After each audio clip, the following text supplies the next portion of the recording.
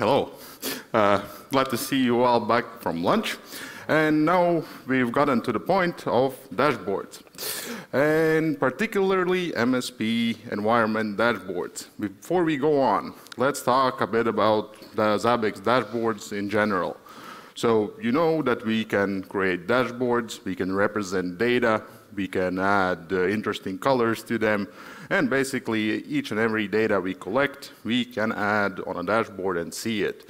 Here's another example, uh, multiple tabs, multiple colors, looks very, very good.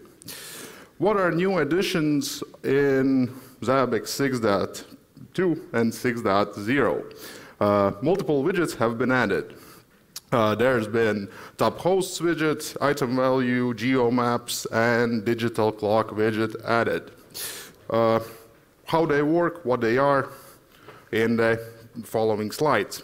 And uh, there have been new functionalities for the graph widget as well.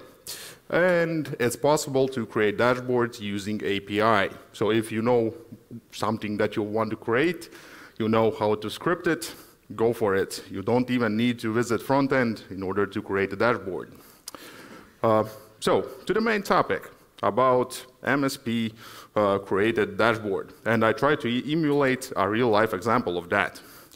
First of all, I know some of you don't know what MSP means. We've heard that term before today, but it means managed service provider. And what you do as MSP is basically you provide some sort of service. Uh, it can be internet provider or some other uh, thing. And what you do is you handle monitoring of customers' infrastructure, you manage its devices, and uh, lots and lots of other things as well. Uh, in this case, I'm imagine that I'm an ISP, so internet service provider, and I have give or take 15, 20 customers, uh, and they all want to have uh, monthly bandwidth uh, display to them. I want to know how much they are using from my side and some other metrics as well. Uh, what the customers want to see also is uh, some sort of overview, uh, and definitely they want to see uh, if we actually give the service to them, so if we comply with SLAs. So this is something that I have come up with. Uh, this is for three customers, three biggest ones. And you can see a graph, you can see some interesting values, and you can also see where they are uh, geographically located. So how to create something like this? Uh, start with graphs. On graphs, you can put aggregations, you can put comparisons, uh, you can add custom time periods, so you can compare data uh, from one week ago, one year ago, however you want to do it. And you can use multiple data sets. Uh, in the graph, you can see uh, data coming in this week, so the bandwidth for this week compared to last week's. How to set it up? First of all, uh, if we know that all my customers will be, their host names will start with host, uh, not host, but customer, then there is a very good way how to allow to do it. And for that, we use wildcards. So each and every customer host we have automatically will be added to this graph. Same goes for the item. In this case, bandwidth will be interface. It can be whatever you want. I just use a wildcard. Uh, and yeah, that one item will be shown. Uh, but if you have used Zabbix before, you know that each and every uh, customer we have here will have the same colored graphs. How to avoid it? Easy. We use overrides.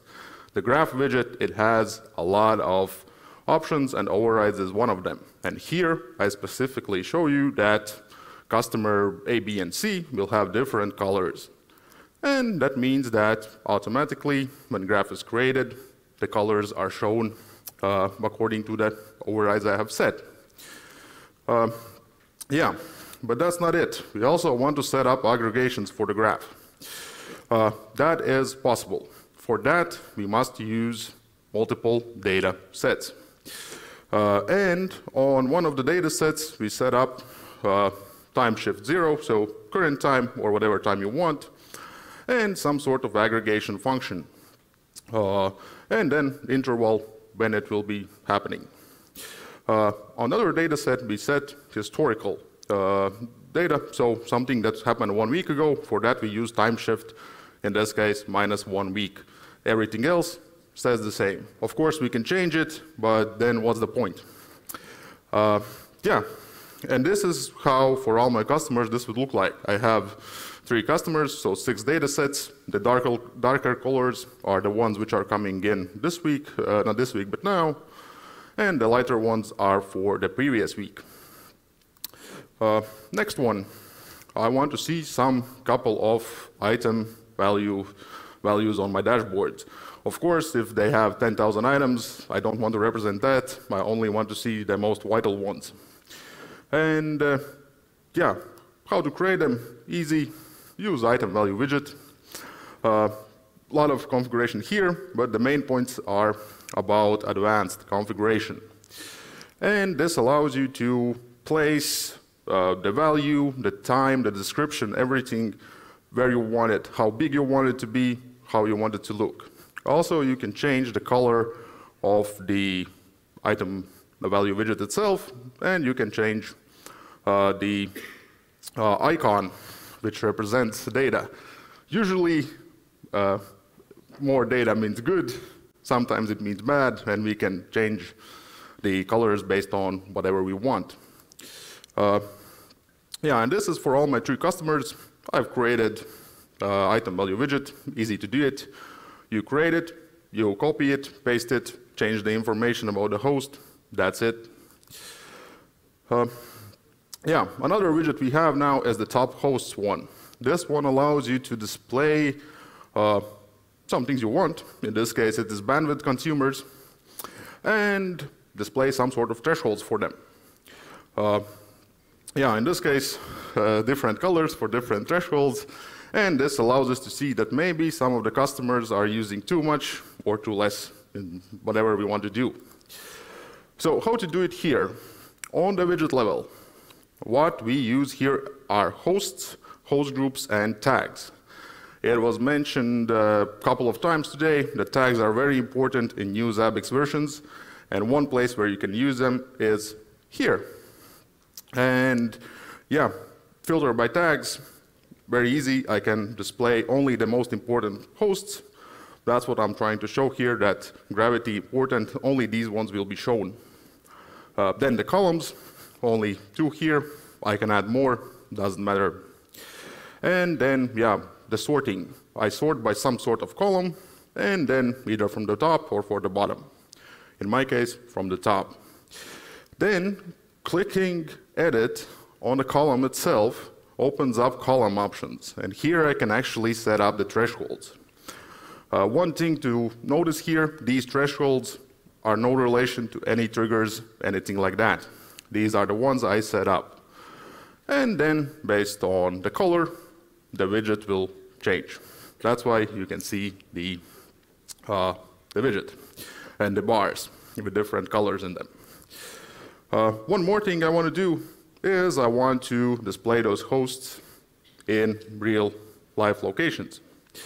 And this allows me to see on a map if they have problems, if they are working well, and where they actually are. So how to create this map? If we want to display a host on a geo map, we need to indicate where it's located at. For that, we use inventory, particularly two fields latitude and longitude. This one, uh, yeah, we can set it up manually or we can get it from an item. So depending on how you want to, you can do it. Uh, here as well as you can see, I'm filtering by host groups and I can use tags. Uh, the initial view. Uh, depending on the size, you can create uh, initial view of the whole world if we are intentional or in my case, I know I'm a local provider, so I just, uh, yeah, will display Riga. And uh, there is a possibility to use different map vendors. Uh, so yeah, if you have some, then you can add it as well. Uh, there is a list of them already available, up to you. Uh, then finally, digital clock widget has arrived. So please applause for that. Fantastic. Uh, all right. Uh, one more thing. Uh, yeah, that's been changed in 6.0 and newer versions is the functions. And if you don't know, lots and lots of new functions have been added. And uh, in my particular case as MSP, I want to see everything that happens to all my customers. And for that, I use MSP uh, for each functions. Total eight of them. Yeah, each does its own thing. Basically, what you do, you aggregate data based on host groups you provide, based on items using wildcards, and based on tags. So tags, very, very important. Uh, how to create it? Calculated item, same as before, any host you want, create an item, type calculated, and make the formula.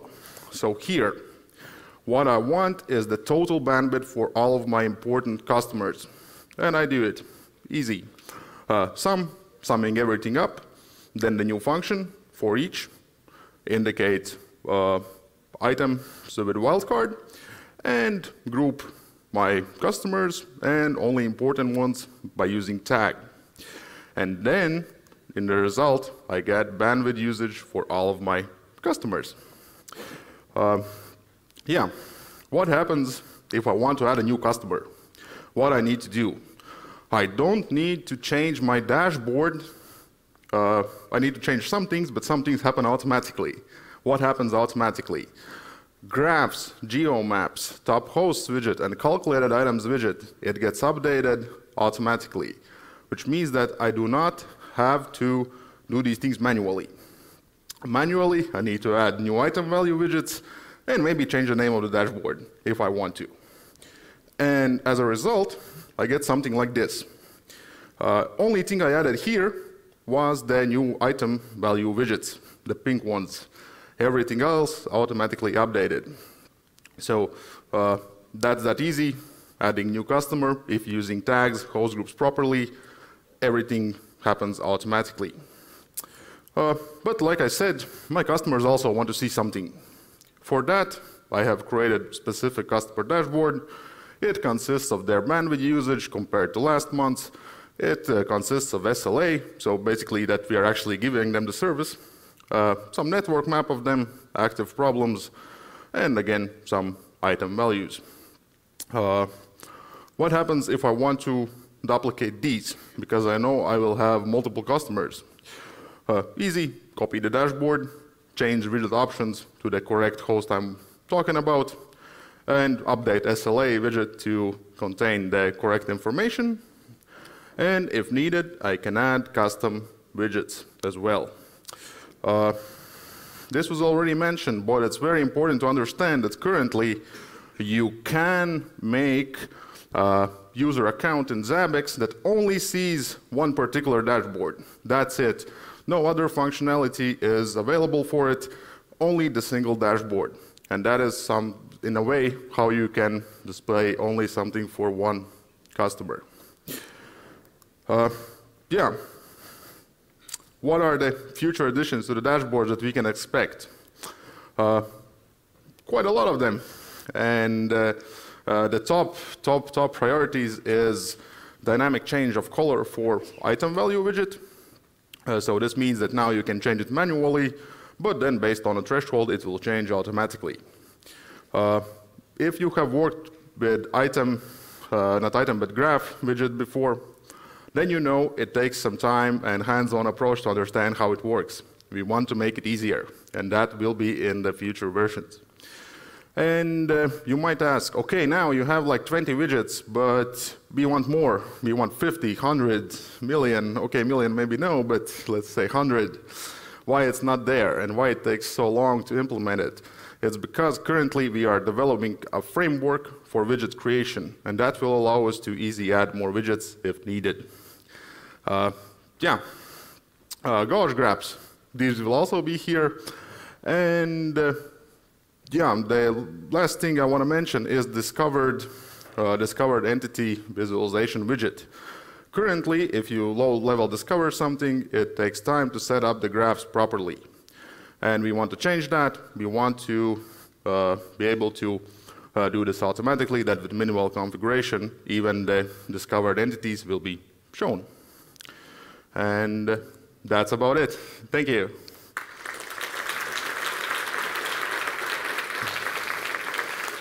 Doc.